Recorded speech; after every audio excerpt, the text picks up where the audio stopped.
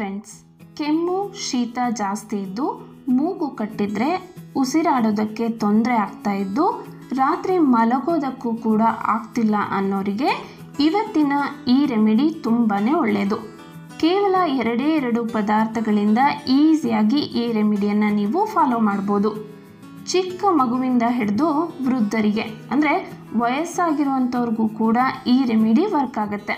ಎಷ್ಟೇ ಗಾಢವಾದ ಕೆಮ್ಮಿದ್ದು ಗಂಟಲು ಗುಸುಗುಸು ಅಂತ ಇದ್ದು, ಕೆಮ್ಮಿ ಕೆಮ್ಮಿ ಎದೆಯ ಭಾಗವೆಲ್ಲ ನೋವಾಗ್ತಾ ಇದ್ದು, ಮೂಗು ಕಟ್ಟಿ ಉಸಿರಾಡೋದಕ್ಕೆ ತೊಂದರೆ ಆಗ್ತಾ ಇದ್ದರೂ ಕೂಡ ಎಲ್ಲವನ್ನ ಮನೆಯಲ್ಲಿ ಈಸಿಯಾಗಿ ಕಡಿಮೆ ಮಾಡುತ್ತೆ ಈ ಮನೆಮದ್ದು ಈ ರೆಮಿಡಿ ನೋಡೋದಕ್ಕೆ ತುಂಬಾ ಸಿಂಪಲ್ ಅನಿಸುತ್ತೆ ಫ್ರೆಂಡ್ಸ್. ಆದರೆ ರಿಸಲ್ಟ್ ಮಾತ್ರ ಹಂಡ್ರೆಡ್ ಪರ್ಸೆಂಟಾಗಿ ಕೊಡುತ್ತೆ. ಹಿಂದಿನ ಕಾಲದಲ್ಲಿ ಡಾಕ್ಟರ್ಗಳೆಲ್ಲ ಎಲ್ಲಿದ್ದರು ಅವರೆಲ್ಲ ಈ ರೀತಿಯ ಮನೆ ಮದ್ದುಗಳನ್ನೇ ಉಪಯೋಗಿಸ್ಕೊಂಡು ನೂರಾರು ವರ್ಷ ಸುಖವಾಗಿ ಬದುಕಿದ್ರು. ಈ ರೆಮಿಡಿಯನ್ನ ತಯಾರಿಸೋದಕ್ಕೂ ಮುಂಚೆ ನೀವು ಇದೇ ಮೊದಲ ಬಾರಿಗೆ ಈ ಚಾನಲ್ನ ವಿಡಿಯೋವನ್ನು ನೋಡ್ತಾ ಇದ್ದರೆ ವಿಡಿಯೋ ಕೆಳಗೆ ಕಾಣುವ ಸಬ್ಸ್ಕ್ರೈಬ್ ಬಟನನ್ನು ಕ್ಲಿಕ್ ಮಾಡಿ, ಪಕ್ಕದಲ್ಲಿ ಬರುವಂಥ ಬೆಲ್ ಐಕಾನನ್ನು ಕ್ಲಿಕ್ ಮಾಡಿ ಆಲನ್ನು ಸೆಲೆಕ್ಟ್ ಮಾಡಿ. ಇದರಿಂದ ನಾನು ಯಾವುದೇ ಹೊಸ ವಿಡಿಯೋ ಅಪ್ಲೋಡ್ ಮಾಡಿದ ತಕ್ಷಣ ನೀವು ನೋಡಬಹುದು. ಫ್ರೆಂಡ್ಸ್ ಈಗ ಒಂದು ದಪ್ಪ ತಳ ಇರುವಂಥ ಪ್ಯಾನ್ ಅಥವಾ ಹಂಚನ್ನು ಒಲೆ ಮೇಲೆ ಇಟ್ಕೊಂಡು ಒಂದು ಚಮಚದಷ್ಟು ಅಜ್ವಾನ, ಅಂದರೆ ಓಂ ಕಾಳನ್ನು ಇದಕ್ಕೆ ಹಾಕಬೇಕು. ಉರಿ ಸಣ್ಣ ಇಟ್ಟಿರಬೇಕು ಫ್ರೆಂಡ್ಸ್ ಆಮೇಲೆ ಇದಕ್ಕೆ ಐದು ಬೆಳ್ಳುಳ್ಳಿಯ ಎಸಳುಗಳನ್ನು ಸಿಪ್ಪೆ ಸುಲಿದು ಈ ಅಜ್ವಾನದ ಜೊತೆ ಹಾಕಬೇಕು. ಸಣ್ಣ ಉರಿಯಲ್ಲಿ ಇವೆರಡನ್ನು ಸ್ವಲ್ಪ ಬಿಸಿ ಮಾಡಬೇಕು. ಬೆಳ್ಳುಳ್ಳಿ ಎಸಳು ದೊಡ್ಡದಿದ್ರೆ ಎರಡನ್ನು ಹಾಕಿದ್ರೆ ಸಾಕಾಗುತ್ತೆ. ಫ್ರೆಂಡ್ಸ್ ಅಜ್ವಾನ ಮತ್ತು ಬೆಳ್ಳುಳ್ಳಿಯಲ್ಲಿ ಕೆಮ್ಮು ಮತ್ತು ನೆಗಡಿಯನ್ನು ಕಡಿಮೆ ಮಾಡುವಂತಹ ಶಕ್ತಿ ಹೆಚ್ಚಾಗಿ ಇವೆ. ಇವೆರಡು ಚಿಕ್ಕ ಮಕ್ಕಳ ಹಾಗೆ ದೊಡ್ಡವರ ನೆಗಡಿ ಮತ್ತು ಕೆಮ್ಮನ್ನು ಕಡಿಮೆ ಮಾಡುವಂತಹ ಶಕ್ತಿಯನ್ನು ಹೊಂದಿವೆ. ಸ್ವಲ್ಪ ವಾತಾವರಣದಲ್ಲಿ ಬದಲಾದಂತೆ ಸಾಮಾನ್ಯವಾಗಿ ಕೆಮ್ಮು ಬರುತ್ತೆ, ಮೂಗು ಸೋರೋದಕ್ಕೆ ಶುರುವಾಗುತ್ತೆ. ಇನ್ನು ಚಳಿಗಾಲದಲ್ಲಂತೂ ಎಲ್ಲರ ಮನೆಯಲ್ಲೂ ಒಬ್ಬರಿಗಾದರೂ ಶೀತ, ಕೆಮ್ಮು ಇದ್ದೇ ಇರುತ್ತೆ.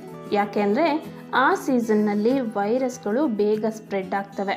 ಇನ್ನು ಈಗಾಗಲೇ ಬಂದಿರುವಂತಹ ವೈರಸ್ಗಳಿಂದ ತಪ್ಪಿಸಿಕೊಳ್ಳೋದಕ್ಕೂ ಇವೆರಡು ತುಂಬಾ ಸಹಾಯ ಮಾಡುತ್ತವೆ. ಈಗ ನೋಡಿ, ಅಜ್ವಾನ ಮತ್ತು ಬೆಳ್ಳುಳ್ಳಿಯ ಕಲರ್ ಲೈಟಾಗಿ ಚೇಂಜ್ ಆಗಿದೆ. ಈ ರೀತಿ ಸ್ವಲ್ಪ ಬಿಸಿ ಮಾಡಿದ ನಂತರ ಒಂದು ಕಾಟನ್ ಬಟ್ಟೆಯಲ್ಲಿ ಬಿಸಿ ಇರುವಂತಹ ಅಜ್ವಾನ ಮತ್ತು ಬೆಳ್ಳುಳ್ಳಿಯನ್ನು ಈ ರೀತಿಯಾಗಿ ಹಾಕಿ ಒಂದು ಗಂಟನ್ನು ಕಟ್ಟಬೇಕು ಅಥವಾ ಈ ರೀತಿ ಒಂದು ರಬ್ಬರನ್ನು ಕೂಡ ಹಾಕ್ಬೋದು. ಇಷ್ಟು ಮಾಡಿದ್ರೆ ಫ್ರೆಂಡ್ಸ್ ನಮ್ಮ ಹೋಮ್ ರೆಮಿಡಿ ರೆಡಿ ಆಗುತ್ತೆ. ಈ ಗಂಟನ್ನು ನೀವು ದಿನಕ್ಕೆ ಹತ್ತರಿಂದ ಹದಿನೈದು ಸಾರಿ, ಅಂದರೆ ದಿನದಲ್ಲಿ ಪದೇ ಪದೇ ಮೂಗಿಗೆ ಹಿಡಿದು ಇದರ ವಾಸನೆಯನ್ನು ತಗೋಬೇಕು. ಅಜ್ವಾನ ಮತ್ತು ಬೆಳ್ಳುಳ್ಳಿಯ ವಾಸನೆಯನ್ನು ನಾವು ಪದೇ ಪದೇ ತಗೊಳ್ಳೋದ್ರಿಂದ ಶೀತ ಬೇಗ ಕಡಿಮೆ ಆಗುತ್ತೆ. ಹಾಗೆ ಕಫ ಕೂಡ ಕರಗುತ್ತೆ. ಈ ರೀತಿ ನೀವು ಮಲಗುವಾಗ ಮಾಡೋದ್ರಿಂದ ಕಟ್ಟಿದ ಮೂಗು ಕ್ಲಿಯರ್ ಆಗಿ ಕೆಮ್ಮು ಬೇಗ ಕಡಿಮೆ ಆಗಿ ಆರಾಮವಾಗಿ ನಿದ್ದೆ ಮಾಡ್ತೀರಾ? ಇನ್ನು ಇದೇ ಗಂಟನ್ನು ಸ್ವಲ್ಪ ಬಿಸಿ ಮಾಡಿ ಎದೆಗೆ ಮತ್ತು ಬೆನ್ನಿಗೆ ಕಾವು ಕೊಡೋದ್ರಿಂದ ಕಫ ಬೇಗ ಕರಗತ್ತೆ. ಫ್ರೆಂಡ್ಸ್ ಈ ರೀತಿ ನೀವು ಮಕ್ಕಳಿಗೂ ಕೂಡ ಮಾಡ್ಬೋದು, ಹಾಗೆ ದೊಡ್ಡವ್ರಿಗೂ ಕೂಡ ಮಾಡ್ಬೋದು. ಆದರೆ ಒಂದು ವರ್ಷದ ಒಳಗಿನ ಮಕ್ಕಳಿಗೆ ಮಾತ್ರ ಈ ರೀತಿ ಮಾಡಬೇಡಿ. ಒಂದು ವರ್ಷ ಒಳಗಿನ ಮಕ್ಕಳಿಗೆ ಈ ರೀತಿ ಅಜ್ವಾನ ಮತ್ತು ಬೆಳ್ಳುಳ್ಳಿಯ ಗಂಟನ್ನು ತಯಾರಿಸ್ಕೊಂಡು ಅವರನ್ನು ಮಲಗಿಸುವಂತಹ ಜಾಗದಲ್ಲಿ ಅಥವಾ ತಲೆ ದಿಂಬಿನ ಕೆಳಗೆ ಇಟ್ಟು ಮಲಗಿಸಿ. ಆಗ ಅವರು ಉಸಿರಾಡುವಾಗ ಈ ವಾಸನೆಯನ್ನು ತಗೊಳ್ಳೋದ್ರಿಂದ ಶೀತ ಮತ್ತು ಕೆಮ್ಮು ಬೇಗ ಕಡಿಮೆ ಆಗುತ್ತೆ. ನೋಡಿದ್ರಲ್ಲ ಫ್ರೆಂಡ್ಸ್ ಶೀತ ಮತ್ತು ಕೆಮ್ಮನ್ನು ಕಡಿಮೆ ಮಾಡುವಂತಹ ಈ ರೆಮಿಡಿಯನ್ನು ಮನೆಯಲ್ಲೇ ಈಸಿಯಾಗಿ ಯಾವ ರೀತಿಯಾಗಿ ತಯಾರಿಸ್ಕೋಬೇಕು ಅಂತ ಈ ರೆಮಿಡಿ ನಿಮಗೆ ಇಷ್ಟ ಆಗಿದೆ ಅಂದ್ಕೊಳ್ತೀನಿ ಇಷ್ಟ ಆಗಿದ್ದರೆ ಪ್ಲೀಸ್ ಈ ವಿಡಿಯೋವನ್ನು ಲೈಕ್ ಮಾಡಿ.